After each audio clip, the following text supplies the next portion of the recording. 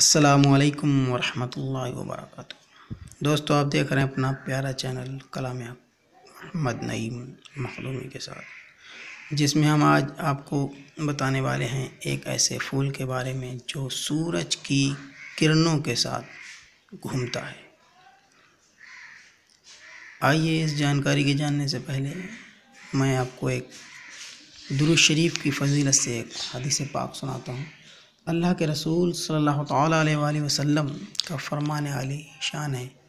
اے لوگو، بے شک بروز قیامت اس کی دہشتوں اور حساب کتاب سے جلد نجات پانے والا شخص وہ ہوگا جس نے تم میں سے مجھ پر دنیا کے اندر باکثرت درود شریف پڑھے ہوں گے۔ سبحان اللہ۔ صلاۃ والسلام علیکہ یا رسول اللہ وعلی آلک و اصحابک یا نور اللہ۔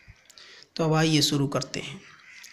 اللہ تعالیٰ نے سورج مکھی کے پھول کے اندر احساس و شعور کی عجیب صلاحیت رکھی ہے۔